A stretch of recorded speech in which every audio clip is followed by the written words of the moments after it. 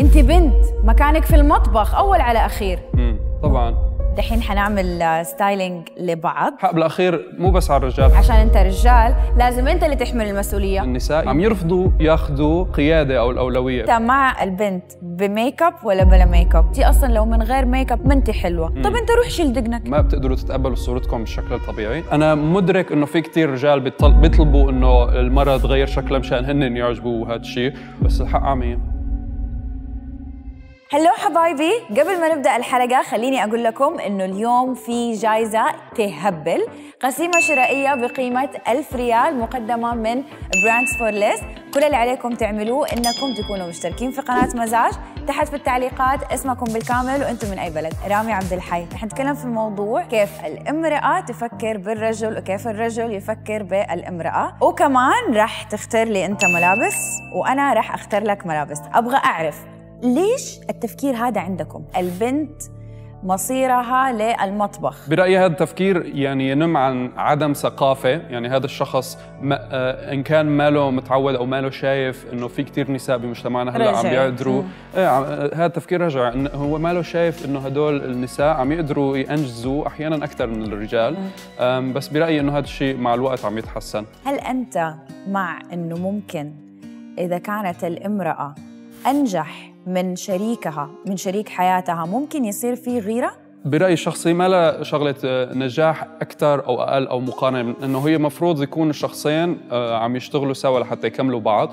وطبعا لازم الشريك دائما يدعم آه، شريكته أو شريكه بأنه يكون أنجح منه. كثير كثير شيء غلط. بالعكس أنت هذا يدل على آم، قلة ثقة بنفسك. أنت لازم تكون مبسوط لنجاح شريكتك. أنا بتوقع في شغله نحن عم ننسى نقولها إنه في كمان للأسف عدد آه، مجموعة من النساء يلي هن بالأصل رافضين ياخذوا آه، القيادة والأولوية، يعني في نساء هن عندهم المقدرة وعندهم القوة العقلية والجسدية إنه يحققوا شغلات كثير كبيرة بس بسبب هدول العادات أو تقاليد أو الشغلات يلي هي ما لها بالضرورة صحيحة عم يرفضوا ياخذوا آه، القيادة أو الأولوية، فهي كمان شغلة. المجتمع ال- الرجال آه، رافض فكرة أنه الامرأة تشتغل. اولا نجاح المرأة يلي أنت شريكة حياتك ما معناتها فشلك بالعكس أنتم بتقدروا تنجحوا سوا. بنصح هدول النساء إنه يحاولوا ولو إنه هن عم ينضغطوا إنه يتحدوا هدول الضغوطات المجتمع اللي عم يحطها عليهم. إيش أكثر شيء يضايقك تحس أنه البنات يفكروا فيه في الرجال؟ بشكل عام ال- الرجال دائما بالمجتمع متوقع منهم إنه هن يكونوا عم يأمنوا آه، الماديات أكثر عم يأمنوا الحماية عم يأمنوا كثير شغلات. هاي الضغوطات ما بتكون موجودة على المرأة. هو كثير بيجبر ال- الرجال يحس إنه هو مضغوط من قبل آه، الناس اللي حواليه إنه يكون عنده أداء عالي بهدول الشغلات. أبغى أعرف إيش إحساسك بأنك أنت جالس بالجهة اللي هي لون زهري فكرة إنه بنت قاعدة باللون الأزرق بالنسبة لي ما عملت شيء إنه غريب بس ما بعرف ليش إنه الرجال باللون الزهري هيك حسيتها إنه شيء غريب أكثر ليش برأيك أنه الناس تشوفه غلط؟ يعني أنا برأيي هي شغلة متعلقة من الصغر إنه نحن شلون نتربى.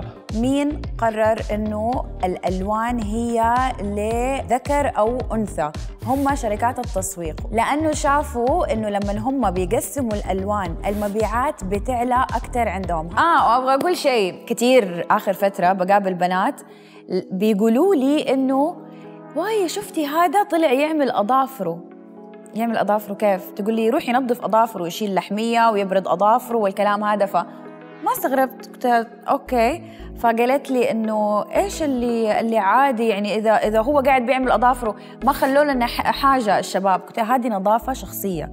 مو غلط ولا عيب وأنا مع الشيء هذا. طيب أنت مع ال ال البنت ب make up ولا بلا make up؟ بالنص. يعني هي حسب السياق بس بتحسي انت انه في مشكلة بال make up انه البنت من قد ما بتتعود عليه. بتصير ما بتقدر تشوف حالها بلا make up ومثلا الفلاتر على الإنستغرام نفس الشيء. أنا ماني ماني ماني مع ماني ضد بس مم. أنا ضد التقليل من من قيمة الامرأة بالنسبة للرجل لما يجي دائما يقول إنه انت أصلا لو من غير make up أو لو من غير عمليات تجميل أو لو من غير مدري إيه ما انت حلوة.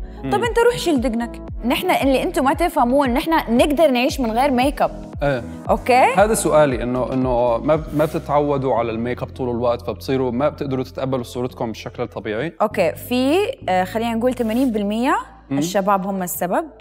وال 20% هي ال social media influencers لأنه أنتم الشباب دائما عندكم مستويات مختلفة لجمال المرأة.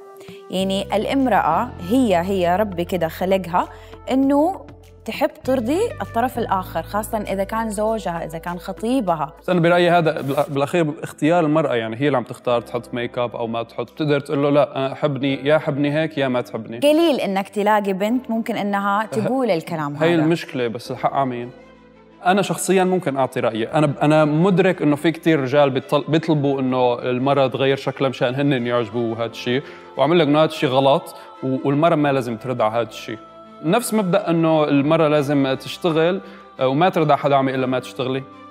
بس الحق بالأخير مو بس على الرجال الحق على المراه يلي يلي ما عم تشتغل.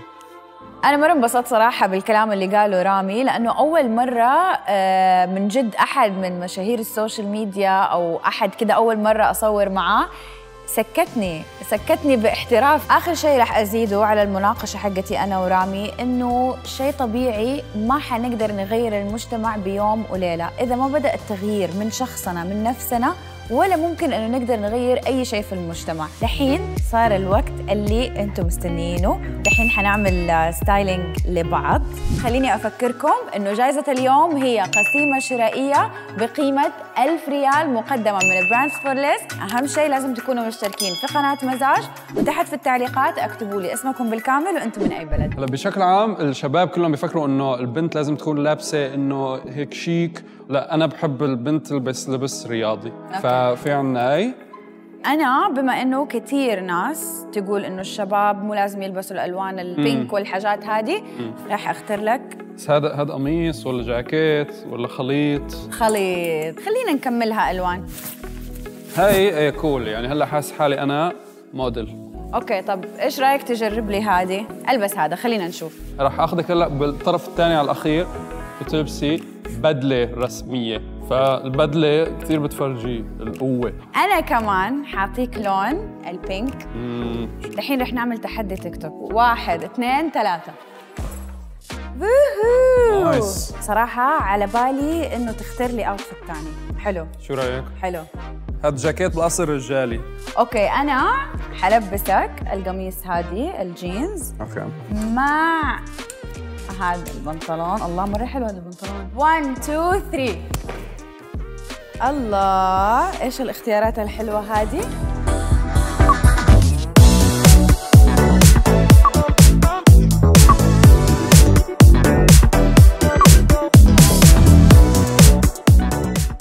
نصيحة لكل أول شيء الرجال أو الشباب يلي مثلي آه، ما تخلي حدا يتحكم بلبسك والطريقة يلي أنت بتشوف فيها حالك. إذا أنت واثق من حالك تقدر تعمل شو ما بدك تلبس شو ما بدك وتعبر عن حالك.